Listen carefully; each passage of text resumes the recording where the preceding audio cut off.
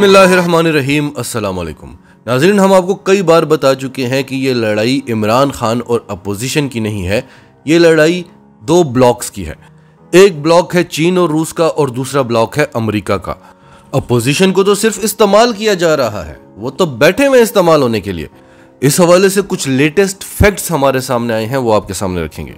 फिर आपको ये भी बताएँगे कि जो पाकिस्तान में ओ का इजलास होने वाला है, उसका इस सब में क्या रोल है और ये जो पाक फौज पर कीचड़ उछाला जा रहा है कि इस सब के पीछे पाक फौज का हाथ है, उस पर से भी पर्दे हटाएँगे और हमेशा की तरह सच टीवी उर्दू की ये वीडियो भी फैक्ट्स पर मबनी होगी।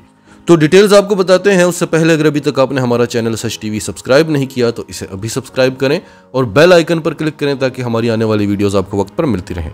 नाजरीन, एक ख्वाब हुआ करता था कि डॉलर की अजारादारी का खात्मा होगा, अमेरिका सुपर पावर की कुर्सी से हटेगा पाकिस्तान चीन और रूस का एक नया ब्लॉक बन गया है। वो ख्वाब सिर्फ़ ख्वाब नहीं रहा, हकीकत बन रहा है, हकीकत बनता हुआ नज़र आ रहा है। सबसे पहले अमेरिका के बहुत बड़े अखबार द वॉल स्ट्रीट जर्नल की खबर है, Saudi Arabia considers accepting yuan instead of dollars for Chinese oil sales ये नाजरीन इब्तदा है। सऊदी अरब अब चीन को युआन में ऑयल बेचेगा। ये हम नहीं कह रहे, ये अमेरिका का बहुत बड़ा अखबार द वॉल स्ट्रीट जर्नल कह रहा है। हम तो आपसे बहुत पहले से ये कह रहे थे कि ये सब कुछ होने वाला है। चीन के वफूद की अब भी सऊदी वफूद के साथ बातचीत चल रही है कि किस तरह से दुनिया से अमेरिकी डॉलर की अजारादारी खत्म करनी है। क्योंकि जब तक डॉलर की अजारादारी खत्म नहीं होगी, अमेरिका इसी तरह पूरी दुनिया को ब्लैकमेल करता रहेगा, अपने इशारों पर चलाता रहेगा और जो उसकी बात नहीं मानेगा, उस पर पाबंदियाँ लगेंगी। अगर डॉलर खत्म हो जाता है तो अमेरिका के पाबंदियाँ लगाने वाले सारे हथियार खत्म हो जाते हैं आईएमएफ खत्म हो जाता है फेटफ खत्म हो जाता है। डिटेल आपको बताते हैं, पहले एक और खबर भी सुन लें। अल जजीरा की खबर है सोर्स है Bloomberg yuan jumps after report Saudis consider its use in oil deals जो ही सऊदी अरब ने यह ऐलान किया युआन एकदम जंप कर गया। सिर्फ़ एक खबर से, अभी सेल शुरू नहीं हुई युआन में, और युआन एकदम से जंप कर गया। और जब सऊदी अरब ने युआन में तेल बेचना शुरू कर दिया तो डॉलर का क्या होगा? और फिर यही काम यूएई भी करेगा, रूस तो ये लाजमी करेगा। तो हम जो आपको बार बार बता रहे हैं कि रूस चाहता था, चीन चाहता था कि अमेरिका पाबंदियाँ लगाए। पाबंदियों का नुकसान किसको होगा? जिसको होगा, वो बड़े दूर की बात है, लेकिन जिसको फ़ायदा होने लगा है, वो आप देख लें। स्विफ्ट कोड बंद किया रूस पर, सिप्स चल पड़ा, एसपीएफएस चल पड़ा। एसपीएफएस जो रूस का पेमेंट सिस्टम है, जिसको कोई पूछता नहीं था वो चल पड़ा। और फिर स्विफ्ट पेमेंट सिस्टम के मुकाबले में जो चीन का सिप्स पेमेंट सिस्टम था, वो भी चल पड़ा। वो तो खैर पहले ही चल रहा था, लेकिन एकदम से उसको बूस्ट मिला है। पहले तकरीबन दुनिया के 80 बैंकों ने इन्हें कंसिडर किया हुआ था। अब 400 बैंक इनको कंसिडर कर चुके हैं। फिर वीज़ा कार्ड मास्टर कार्ड उन पर रूस में पाबंदियाँ लगी। चीन का जो यूनियन पे है, जो वीज़ा कार्ड के मुकाबले में आया हुआ है, उसे बूस्ट मिल गया। फिर चीन डिजिटल युआन बना रहा है और पाकिस्तान समेत तमाम अपने इतिहादियों को, खासतौर पर मुसलमान ममालिक को कह रहा है कि हम मिलकर एक अपनी करेंसी बना लेंगे। और जब तक नहीं बनती, तब तक आप युआन को इस्तेमाल करें। दो तीन और खबरें आपके सामने रख देते हैं। Has yuan become Russia's new dollar? क्या युआन रूस में डॉलर बन गया है? क्योंकि रूस में जो जो काम भी डॉलर में हुआ करता था, अब वो युआन में हो रहा है। ग्लोबल टाइम्स कहता है yuan increasingly preferred amid de dollarisation of China Russia trade Reuters कहता है as sanction target Russia Fesco says customers can pay yuan रूस में फेस्को ने अपने कस्टमर से कह दिया है कि आप युआन में पे कर सकते हैं। तो नुकसान किसको हुआ और फ़ायदा किसको हुआ? अब देखें, पिछले कई दिहाइयों से पूरी दुनिया में सिर्फ़ एक ही मुल्क की हुकूमत है और वो है अमेरिका। दुनिया का हर मुल्क उसकी बात मानता है। वो दुनिया के हर मुल्क को ब्लैकमेल करता है, उसे प्रेशराइज करता है। अगर आपने दुनिया में आगे बढ़ना है तो आपको इंग्लिश आना ज़रूरी है, क्योंकि अमेरिका में इंग्लिश बोली जाती है। अगर आपने इंटरनेशनल लेवल पर बिज़नेस करना है तो आपको डॉलर का इस्तेमाल करना पड़ेगा। आप अमेरिका के मोहताज हैं। पाकिस्तान में किसकी हुकूमत होगी, यह फैसला अमेरिका किया करता था। अपनी मर्ज़ी के बंदे यहाँ पर बिठाए जाते थे, जो अमेरिका के कहने पर भारत के मफादात के लिए पाकिस्तान के खिलाफ काम किया करते थे।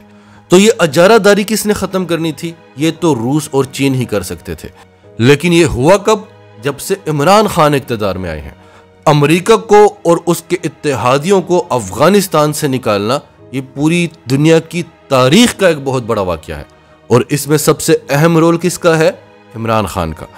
पाकिस्तान की आईएसआई का। दूसरा बड़ा स्टेप अगर इस खत्ते में अमेरिका की कमर तोड़नी है, अगर आप चाहते हैं कि इस खत्े के फैसले अमेरिका ना किया करे तो इस खत्ते से अमेरिका के इतिहादियों को ख़त्म करना होगा या उनकी कमर तोड़नी होगी। आपने देखा पिछले तीन साल से भारत के साथ क्या हो रहा है? आपने देखा यूक्रेन के साथ क्या हुआ है? अरब ममालिक बच गए, क्योंकि उनको अमेरिका के इतिहाद से निकाल दिया गया और ये काम भी किसने किया? फिर सऊदी अरब को ईरान के करीब लाना। सऊदी अरब और ईरान की जो दुश्मनी थी वो इस खत्े के लिए सबसे बड़ा खतरा थी। और इस पर अमेरिका की कई दिहाइयों की मेहनत है और अरबों डॉलर्स की इन्वेस्टमेंट है। उसे खत्म कर दिया। सऊदी अरब और ईरान करीब आ गए। उन्होंने बातचीत शुरू की। ये काम किसने शुरू किया? इमरान खान ने। सऊदी अरब और चीन को कौन करीब लेकर आया? ये इमरान खान और जनरल बाजवा की जो जोड़ी है, ये बड़ी कमाल की जोड़ी है। इस जोड़ी ने खत्े की तकदीर बदल कर रख दी है। तो ये सारे कसूर हैं इमरान खान के और इसकी इमरान खान को सजा दी जा रही है। अगर अमेरिका ने अपनी सुपर पावर की कुर्सी को बचाना है तो इमरान खान को हटाना होगा। भले वो इकतदार से हट जाए और अगर इकतदार से नहीं हटता तो फिर दूसरा रास्ता, जुल्फ़िकार अली भुट्टो वाला, क्योंकि वो भी ऐसे ही ख्वाब देखा करता था। कराची में इस्लामिक बैंक बनाना चाहता था, जिसमें अरब ममालिक अपना पैसा रखते तो वर्ल्ड बैंक और आईएमएफ की क्या अहमियत रह जाती? आज दुनिया पाकिस्तान से कर्जे मांग रही होती। शाह फैसल भी इसी तरह के ख्वाब देखा करता था। लेकिन डरने की ज़रूरत नहीं है। अब ये सब कुछ मुमकिन है। अब ये सब कुछ हो सकता है, ये आपको बताते हैं। अब पाकिस्तान में सत्तावन ममालिक का इजलास हो रहा है ओआईसी का इजलास, जिसमें कश्मीर का इशू भी उठेगा, जिसमें इस्लामोफोबिया पर भी बात होगी, जिसमें अमेरिका पर भी बात होगी। और फिर चीन भी आ रहा है। ट्रिब्यून की खबर, Beijing attending O I C mood to expand ties with Muslim world Chinese foreign minister ने कहा है। कि हम ओआईसी का इजलास अटेंड करने इसलिए जा रहे हैं क्योंकि हम मुस्लिम वर्ल्ड के साथ अपने ताल्लुक को बेहतर बनाना चाहते हैं। और ये बात हम आपको कब से कर रहे हैं कि चीन मुसलमान ममालिक को इकट्ठा करना चाहता है, क्योंकि चीन जानता है कि मुसलमान सबसे बड़ी ताकत हैं, लेकिन अमेरिका इनको जलील कर रहा है, इनको ख्वार कर रहा है, इनको एक दूसरे का दुश्मन बनाया हुआ है। चीन ने बाकायदा मुसलमान ममालिक को ऑफ़र की है कि हम मिलकर एक नई करेंसी बनाते हैं डॉलर के मुकाबले में। अब सारी ट्रेड चीन के पास है, तेल और पैसा सारा अरबों के पास है एनर्जी की जरूरतें रूस पूरी करता है। अमेरिका की इन सब के सामने हैसियत क्या रह जाती है? और पाकिस्तान को हमेशा से स्ट्रेटेजिक मामला में तारीखी अहमियत हासिल है। वो भारत, जिसने पूरी दुनिया में अपना मज़ाक बनवा लिया कि कोई इंटरनेशनल क्रिकेट टीम पाकिस्तान में आकर क्रिकेट ना खेल ले। वो एक्सपोज हुआ, पूरी दुनिया से उस पर थू थू हुई, लेकिन वो ये बर्दाश्त नहीं कर सकता कि कोई इंटरनेशनल क्रिकेट टीम पाकिस्तान में आकर क्रिकेट खेल ले। आज सत्तावन ममालिक के सरबरा पाकिस्तान में इकट्ठे हो रहे हैं। कश्मीर पर बात होगी। भारत से बर्दाश्त होगा। फेटफ का इजलास होना होता है तो ये सारे लोग सड़कों पर आ जाते हैं कि कहीं पाकिस्तान के हक में फैसला ना हो जाए। ये तो हमेशा से भारत के लिए इस्तेमाल हो रहे हैं। हमेशा से इनकी जबान और भारत की जबान एक ही रही है। तो आज पाकिस्तान में ओआईसी का इजलास हो रहा है। भारत को कितनी तकलीफ़ होगी? अमेरिका को कितनी तकलीफ़ होगी? क्या ये लोग अमेरिका और भारत की तकलीफ़ देख सकते हैं? क्या ये नो कॉन्फिडेंस मूव दस दिन बाद नहीं हो सकता था? एन के इजलास से पहले ये सारा ड्रामा क्यों हुआ? तो नाजिन हमें कौम बनना है। हमें चीज़ों को समझना है। इमरान खान ने कितनी ज़बरदस्त बात की कल के जलसे में कि मैं मानता हूँ भारत को, जो भारत की फॉरेन पॉलिसी है। वो आज़ाद है, वो डिक्टेशन नहीं लेते, वो इस वक्त अमेरिका के इत्तेहादी हैं, अमेरिका के मोहताज हैं। लेकिन अमेरिका ने रूस पर पाबंदियाँ लगाई हुई हैं, भारत रूस से तेल खरीद रहा है, क्योंकि इसमें भारत का फ़ायदा है। और अमेरिका भारत पर प्रेशर नहीं डाल रहा। आज अमेरिका को कन्फर्म हो जाए कि अगर मैं इमरान खान को हटा भी देता हूँ तो इमरान खान की जगह अगर नवाज़ शरीफ भी आकर बैठ गया, जरदारी भी आकर बैठ गया, बिलावल बैठ गया, मौलाना बैठ गया, कोई भी आकर बैठ गया वो मेरे इशारों पर नहीं नाचेंगे, वो पाकिस्तान की नेशनल इंटरेस्ट की बात करेंगे तो फिर अमेरिका पाकिस्तान पर भी प्रेशर नहीं डालेगा। जब अमेरिका को कंफर्म हो जाएगा कि पाकिस्तान में कोई बिकेगा नहीं, अमेरिका को कंफर्म है कि अगर वो मोदी को हटा दे और किसी और को वजी अजम बनवा दे, वो भी इंडिया के नेशनल इंटरेस्ट की बात करेगा। वो डिक्टेशन नहीं लेगा, वो प्रेशर नहीं लेगा, इसलिए अमेरिका भारत का कुछ नहीं बिगाड़ सकता, पाकिस्तान का तो उसको पता है कि हज़ारों बैठे हुए हैं, इंतज़ार में, पैसा लगाओ और अपनी मर्ज़ी से पाकिस्तान को चलाओ। अब आ जाते हैं पाक फौज पर। हमने आपको बार बार कहा कि ये मुहब वतन लोग हैं। ये पाकिस्तान का वाहिद अदारा है, जो ईमानदार है, जिसमें करप्शन नहीं है, जिसकी रैंकिंग आलमी ताकतों की फौजों की रैंकिंग से बढ़कर है। वो क्यों चाहेंगे कि उस शख्स को इकतदार में लाया जाए, जो पाकिस्तान के राज अमेरिका को बताता है, जो मोदी के साथ अपनी फौज के खिलाफ मुलाकातें करता है जो कहता है कलभूषण का नाम नहीं लेना। और हाँ अजमल कसाब हमारा ही आदमी था, जिस शख्स की वजह से आज पाकिस्तान फैटफ की ग्रे लिस्ट में है। या फिर उस शख्स को क्यों वज़ीर आज़म बनाएगा, जो कहता था कि जे सेवनटीन थंडर तैयारे ना बनाओ, मैं तुम्हें एयर चीफ बना दूँगा। क्योंकि हमने अपने तैयारे बना लिए तो फिर हम अमेरिका से डिक्टेशन कैसे लेंगे? एफ़ सिक्सटीन के लिए उसकी मिनत समाजत कैसे करेंगे? उसकी शराइ कैसे मानेंगे? तो मुहिब वतन लोग तो ऐसा करने से रहें। हाँ शख्सी इख्तलाफात ज़रूर हो सकते हैं, उसके बारे में हम आपको कुछ भी नहीं कह सकते।